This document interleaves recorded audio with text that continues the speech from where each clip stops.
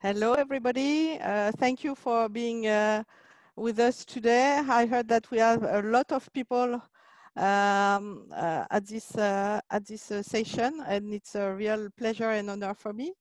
Um, as Claudia said, I'm going to talk mainly on how I created the environment department within LVMH, uh, how I've been working with the different activities and, and the different maisons, and then uh, some words about uh, our strategic uh, program and some uh, and, and share some uh, of the good and, and sometimes more difficult examples.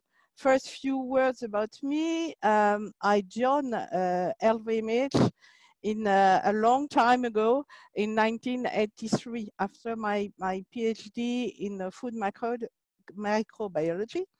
Uh, I joined Hennessy, which is the H of uh, LVMH, uh, and I was working on uh, bacteria and yeast, which you can find in the wine. Um, I've always been interested by environmental issues, um, in fact, I was raised, raised in environment since my two parents were, were biologists. I had the chance uh, in 1992 uh, to go to the Earth uh, Summit uh, in Rio de Janeiro. And uh, when I came back, uh, for me, it was so obvious that the subject of the next years will be environment and sustainability that I decided to work on that for not even one second, I, I thought of doing this uh, within LVMH. So I started with some friends uh, to create uh, what now we call a startup uh, on, on environment. And when I saw my boss at Hennessy, uh, uh, to tell him that I was going to leave Hennessy to work full-time on environment, he told me, okay, but why don't you do it inside LVMH? Of course, I was really surprised but uh, thrilled. So the, maybe two weeks after I was in Paris, uh, meeting uh, with the Secretary General of LVMH, um, and uh, he said, okay, us that uh, environment is such an important issue that we need sometime someone full time, and that's how I started. Uh, the, maybe I'm going to share with you um, my screen. Uh, okay. So um, what uh, what made uh, uh the uh, the importance of uh, environment at the beginning of of my my job in environment? I'm I mean in 1992. the fact that all our products um, are coming from nature. but that time, perfume and cosmetic was were one of the most uh, prominent activity within LVMH. And uh, in the wine and spirits, they absolutely are aware that uh, they are working with an ecosystem. They are working with a plant, with biodiversity, with climate, with water. Um, and so there already we have a, a kind of culture uh, of, of, of, nature uh, within the activity.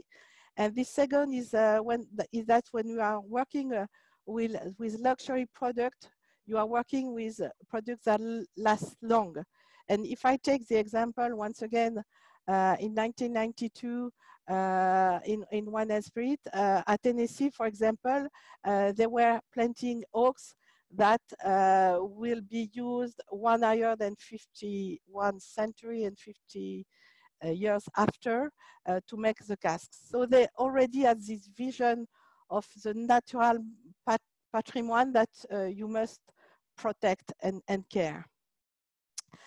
Um, so uh, we are in 1992 and um, I, I created since 1992 uh, what is still alive, it's the LVMH Environmental Committee it was uh, all the people working in the different maisons who were interested uh, by the environment.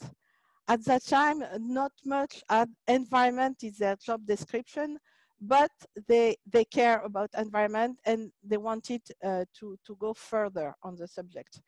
and uh, we met every three months, and that's how we started our first actions. Um, and the the time the time goes by. I, I, I forgot to tell you that at the beginning, my boss was the financial director. And believe me, it's very helpful to have a financial director when you start this type of job. Uh, he was helping me uh, a lot. Um, now, for the last uh, 15 years about, my boss is the director general of LVMH, uh, Mr. Antonio Belloni. Uh, so if I go, um, no, I'm, I'm first, uh, so I, I, started with the um, LVMH uh, Environmental Committee and uh, with the Maison, uh, we were inside LVMH and we started some work. Mainly it was uh, on our production site. Uh, just a figure, now LVMH is more than 300 production sites, mainly, mainly in, in Europe. So we started uh, at uh, at uh, at this level in, in, in the 90s, and it was reducing water consumption, reducing energy consumption, sorting waste, reducing waste, all the things that you have to do on a production site.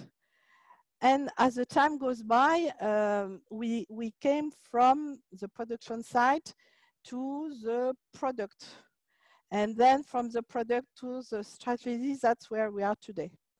And um, let's go to uh, 2011. So 2011, we already uh, had work on production side.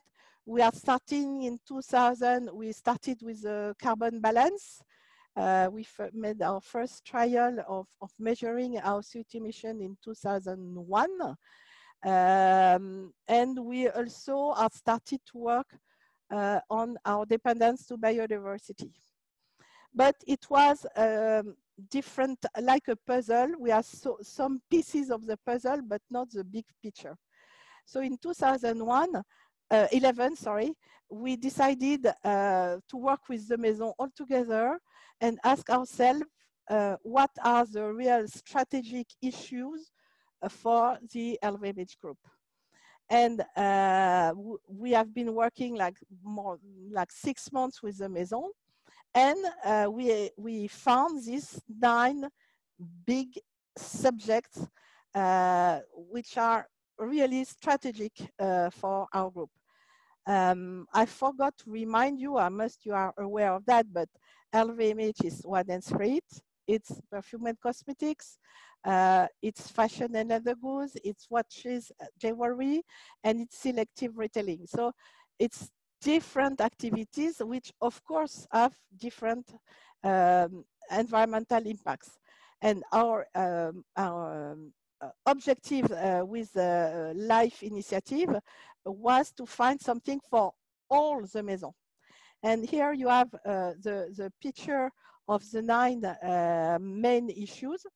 The first one, of course, uh, is the integrate environment since the brief. As soon as you create something, think about environment. That's where you will be the, uh, the smarter, it will, uh, you will be the more innovative, it will uh, cost less.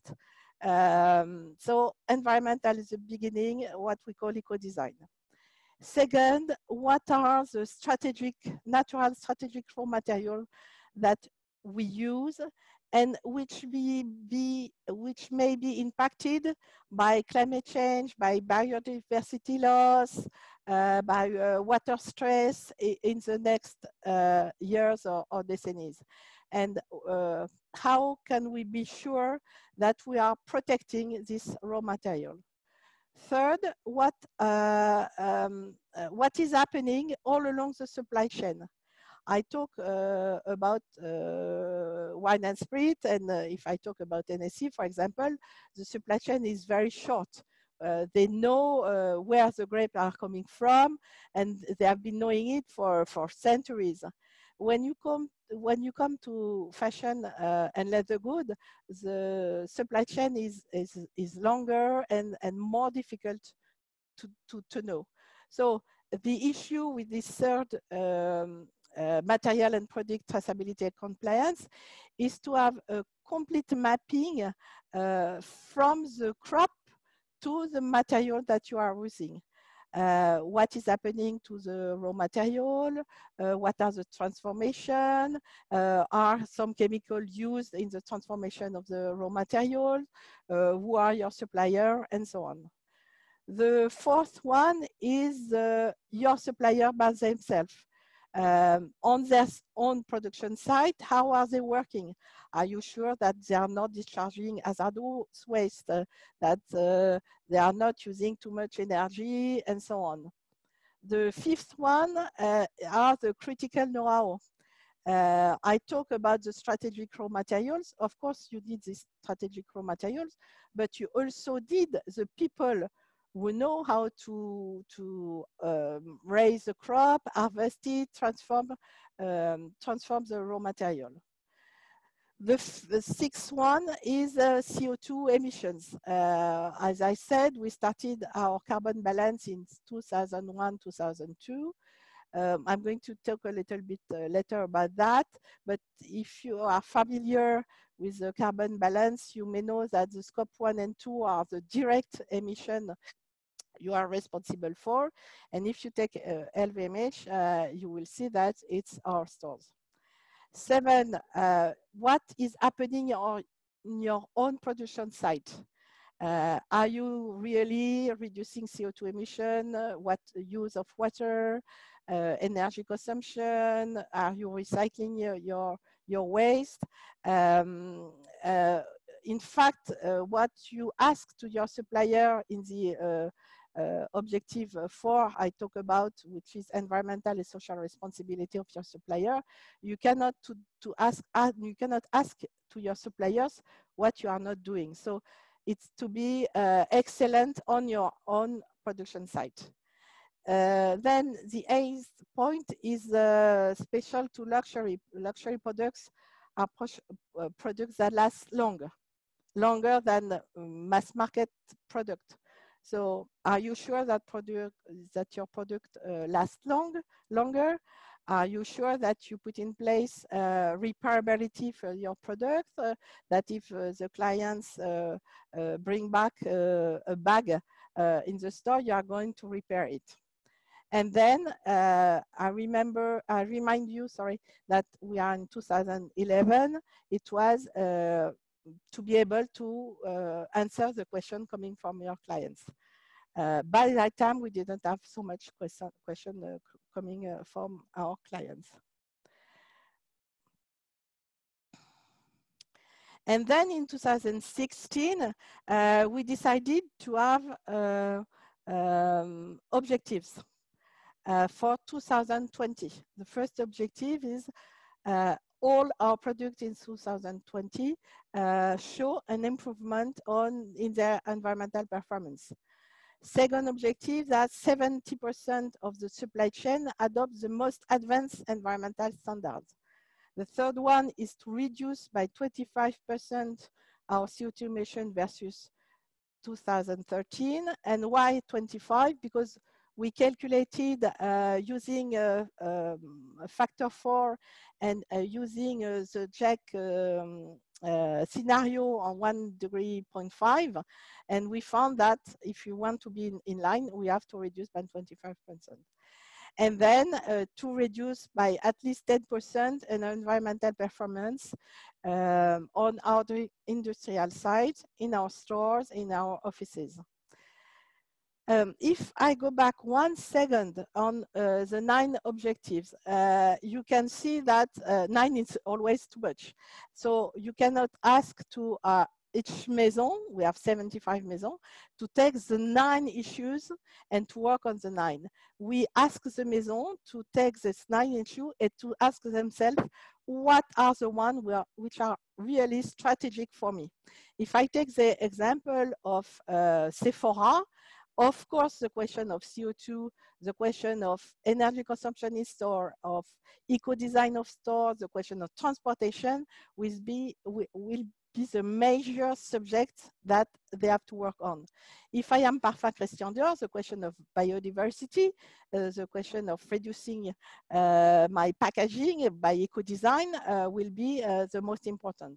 So we have the Maison to take all these uh, issues and to put in them in their uh, strategic plan the, um, the issue which are the most important for them and to be in line with the four objectives.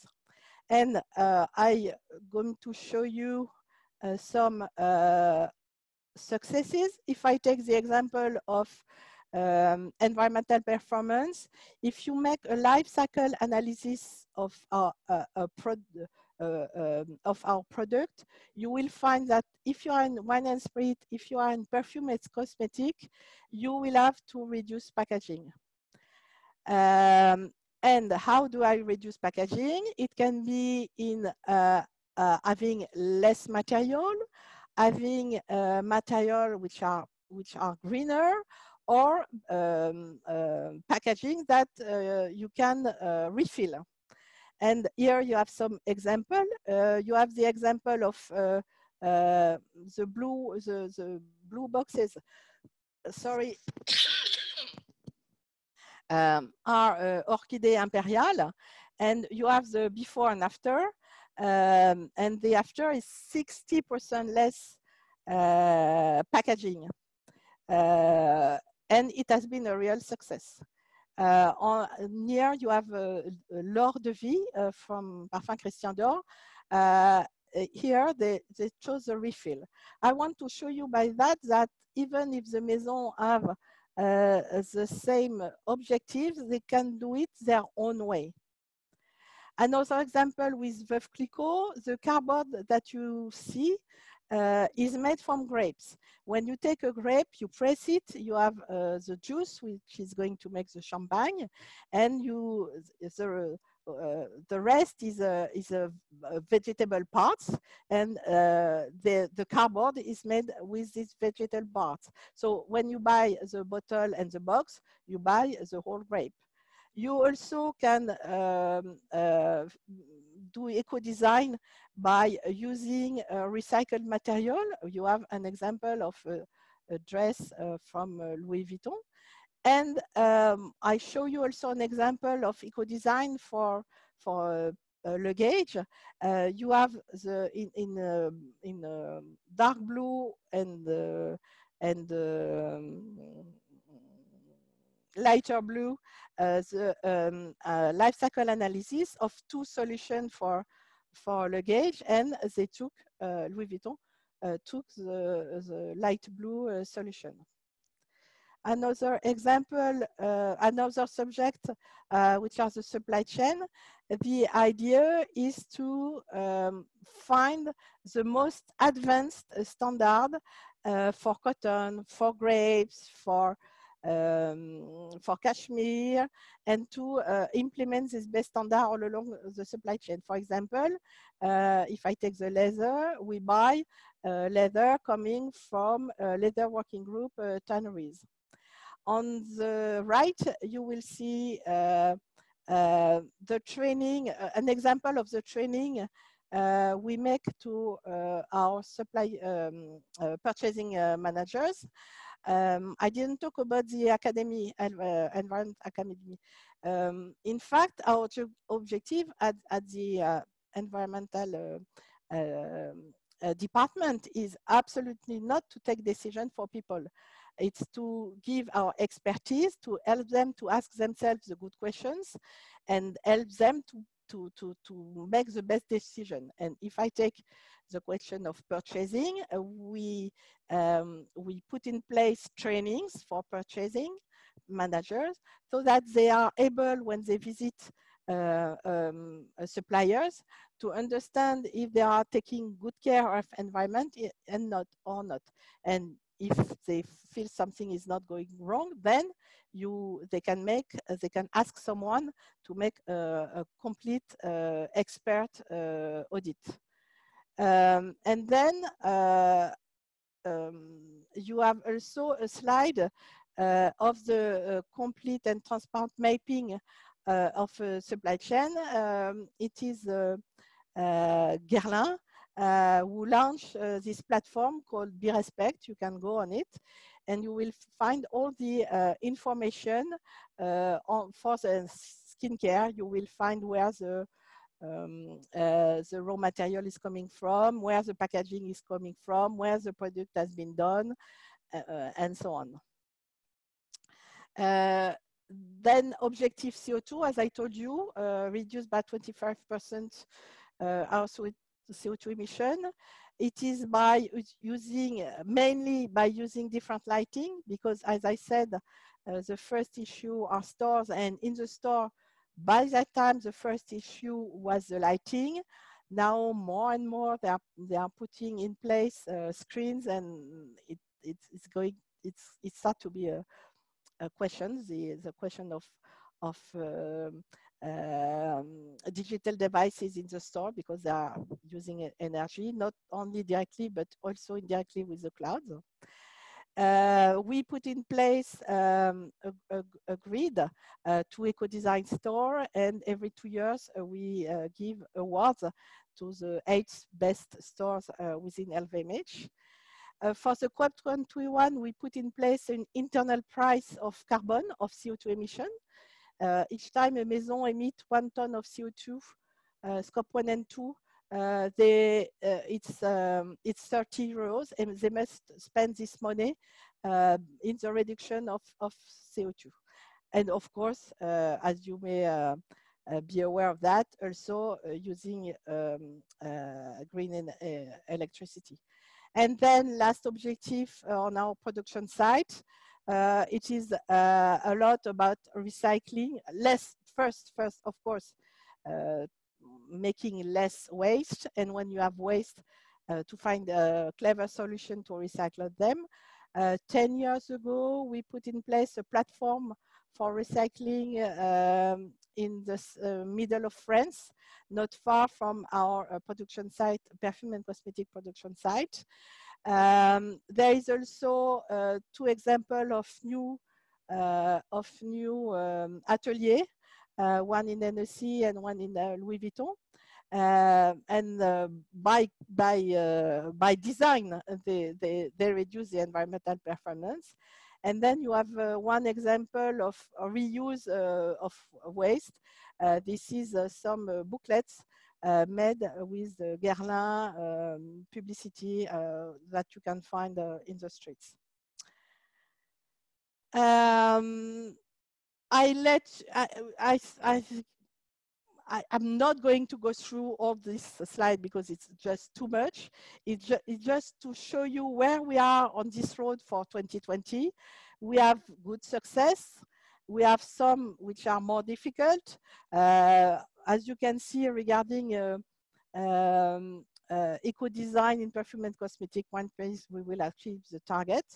Uh, on the other side, if I take save and, pur and purify water uh, you can see that the figures are not so good. It's uh, at bottom right.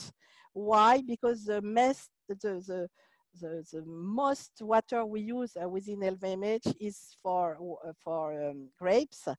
And since the climate is changing so much in countries like uh, California or Argentina, uh, they have to, to use water, more water than they used to do uh, to save the grapes. Uh, and even if they are trying to find a better solution by using water coming from the rain, by water drop by drop uh, water irrigation, even though we, we know that uh, they need more water. That's why the, the, the, the figure is not, is not so good. I've been fast. I'm uh, already over the time, so uh, thank you for listening me. Uh, we will have the question, but if you want to know a lot more, you can go on uh, the internet site of LVMH and you can download uh, the, the environmental uh, report Um, it's called LVMH uh, 2018 Environmental Report, and you will find a lot more example, a lot more figures. Um, that's what I had the chance to to tell you right now. Claudia, Thank you, you, very much. Okay. Thank you. Um, we'll go to the questions now. Uh, let's go uh, to the Q&A box. Okay. Alors, how is the decrease uh, in environmental performance is calculated? Um, uh, in fact, uh, every year, all the maisons send us uh, their environmental data. Uh, and uh, we, we consolidate all this data. They, they, are audited by external auditors and they are published in the, in the, in the report that you can that you can download. And if I take the example of CO2 emission, um, we reduced uh, from uh, 2013 to 2018 by 16% in absolute value our CO2 emission, while LVMH sales rise by more than 50%. So um, th this is how we measure uh, our performance. Uh, the 10%, uh, someone is, uh, is talking about 10%. I don't know this, where this uh, figure is coming from. Maybe I talk about 10%. Oh, I know. In, um, sorry. You were not talking about this 10%, you were talking about the 10% on the production site. In fact, we ask the, on the production site, we, are, we ask to reduce at least by 10% or water consumption or waste or energy. Why or? Because the activities are so different that you cannot uh, ask uh, to um, uh, uh, Louis Vuitton Atelier to reduce by 10% uh, water consumption because they are not using so much water, so it, would, it won't have uh, no interest, it won't, it won't be relevant when it is relevant to reduce uh, energy consumption. But if I take wine and spirit, water is relevant. That's how it is uh, calculated.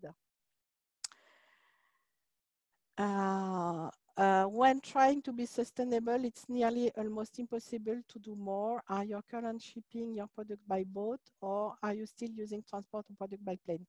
Okay, um, regarding transportation, uh, it's a big issue and we are working a lot on that with the people in charge of the supply chain. And the answer, it depends on the activity. Uh, if uh, we take uh, wine and spirit, for example, there are already more than 95% uh, using uh, shipping by boat. Um, it's not the same with fashion and leather good because um, the, the, the, time on market uh, is, is a lot smaller, but uh, we are trying a, a solution uh, like train, for example, uh, for products we, we sell in China, um, in, in fashion. Uh, they tried the, the new Route de la Soie. Uh, so we are working on that. Um, alors, becoming Okay, um, someone is asking about the question of, of screens and I uh, and the fact that we are using uh, more and more screens. It's a big, big issue. Um, I've been talking uh, about that uh, for a long time, warning the digital people about the environmental uh, footprint of digital, on the fact that maybe you know that if you are going to work on, on a document for more than eight minutes. It's better if it's written on a paper than if you are on the screen. So uh, we are working a lot through the um, uh, Environmental Academy in training, explaining things so that the behavior change, but it's still difficult. Um, uh, so um, yes, this this issue of screen, nobody was hearing me uh, two years ago. And now some people say maybe we've gone too far. So I never know what is going to happen, but uh, the subject is more and more on the table. Uh, how do you integrate sustainability in company strategy? I hope I answered this. Um, uh, it is by um, by uh, taking into account these nine main stakes and, and asking ourselves uh, what am I doing to uh, reduce the environmental input, input on mainly on these nine stakes. Uh, the sustainability targets, um, they are on the last slide I show you. Uh, I'm not going to go through them because uh, it will be a lot of figures, but go on the internet site, download the report and you will find them. Um, uh,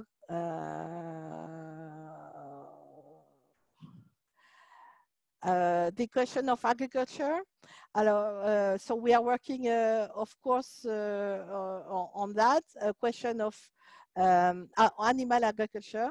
Uh, so we are working uh, on that. We just created a few months ago a scientific committee to help us exactly on this issue uh, of uh, agriculture, of raising animals, and how can we reduce the environmental footprint.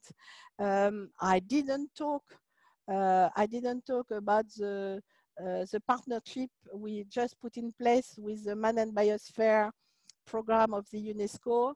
And one of the subjects also will be on agriculture and how we can um, uh, change. Uh, I am an agronomist um, by um, uh, by formation, uh, by uh, by training.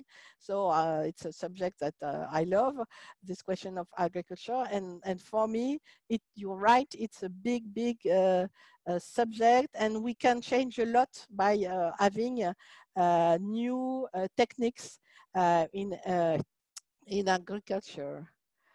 Um, then there are uh, there is a question uh, uh, about leather production. So I don't talk uh, um, more about the animal because I just talk about that. Regarding the question of um, making uh, leather, as I said, we are we as we are buying only from um, leather working group certified um, uh, tanneries. And uh, we are also working with tanners um, and with the supply chain in order to um, always reduce the environmental impact. And especially we are making um, life cycle analysis because there is a lot of blah, blah, blah around the leather and we want really scientific uh, sound uh, information. So, um, so we are working also uh, on that and, and to be uh, sure that we can uh, improve practices, we have our own tanneries where we can uh, try to go as, as, as far as possible. standard and certification, um, you will find them in, in our report. Do you compare your progress with other peers competitors? Um, yes or no? Yes and no. Um, uh, some competitors have very good uh, practices and uh, of course uh, uh, we, we try to be as good as they are. Um, but uh, in fact, um, the, the, people who rank uh, which rank uh, companies most of the time they are more on the I will do that in 2050 and I will do that in 2030 than in real um, decrease of the environmental footprint. Um, that's the first point. The second point is that it's very difficult to compare LVMH to any other group because of course uh, uh, we have competitors in fashion, we have competitors in, in wine and spirit, we have competitors in, in selective retailing, and um, the issues are so different that uh, it's, it's difficult to, to, to compare to completely to another group. Um, do you feel you have genuine support from the group as a whole or is it in an uphill battle? Both. Um, it has long, for a long time, it has been a, a battle. Um, if I can uh, uh, give one advice, say never give up. When you have an idea, you think it's going in the right way, um, and it sounds scientifically sound, do it. And one day, they, maybe the first time they will be crazy, it's not possible, uh, no way. Uh, but the second time they will listen to you a little bit more. Uh, I'm, I'm, I'm talking about 10, 15 years ago. Now, um, first, um, at, at the upper level of uh, uh of, of LVMH, uh, now they, it, it's clear that it's an issue that they understand uh, they understood how strategic it is and second we have the, the younger employees now we are which are who are uh, really uh, keen about environmental issue. They have ideas they don't want blah blah blah they want uh, action. So they give a, a real support. Uh, Jenny McCarthy is this the Jenny McCarthy? If yes, uh, hello, Jenny. Um, how did you win your CEO on board to embrace environmental challenge and build? Um, uh, well, um, there is one way. There's two way to to to to have people on board. Um, is to show results. So first, uh, work with the people who really want to work, uh, who really want to make a change, have good results with them. And once you have these good results, share these good results with the other people. And the second uh, important thing is uh, um, uh, be an example. Do what you say. Absolutely. Show that you can have a, a wonderful uh, professional life uh, by uh, not having a car, by not taking too much the airplane, by still writing on the paper and not always on your iPad and, and so on and so on. Be, be an example and share good practices. Uh, do you work with competitors who share, share practices? Yes. Uh, when I talk about the supply chain, uh, there are a lot of working groups where we are with our uh, competitors, but not only our competitors, it, um, it may be uh, suppliers, and, um, and uh, we share best practices. Let's, Claudia, where are we with the time? Yes, uh, maybe we can answer one more question and then uh, I will invite uh, people to submit questions. I, I have a lot of other questions. Yes, maybe they can send the. Yes, okay, yeah, yeah, yeah. What happens after the 2020? Um, we are working on what is going to happen after the 2020. We are right now um, uh, working on um, what may be the world in 2030, uh, um, working with scientists, working with, um, uh, how do you call them, uh, the people who predict the future, um, with the scenario of the GIEC, of IPBES, um, and, and to, to, to build the, our strategy after 2020. But first, we want to achieve 2020 before launching the after 2020.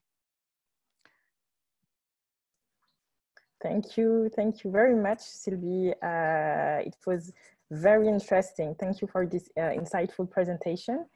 Um, if you have any additional question after the webinar, please contact us at marketing at positiveluxury.com. Even for the question that hasn't been answered, uh, I will share them with you, Sylvie. Uh, oh, sure, sure. We will continue to answer. Oh, yes, uh, I, I, see so many questions. yes. Uh, some of you might know uh, from the 14th of uh, October to the 20th of October, we are hosting our annual event, Positive Week. And for the first time, uh, the event will take place in Paris, New York, and London. Uh, and Sylvie will speak at our Parisian breakfast panel uh, among a panel of great speakers. So please head over to positiveluxury.com event section uh, if you want to learn more and register to the event. Thank you again, Sylvie. Thank you, Claudia. Hope you enjoyed it. And, and thank you, Diana. thank you all for attending. See you, see you later. Thank you. Thank you. Bye-bye.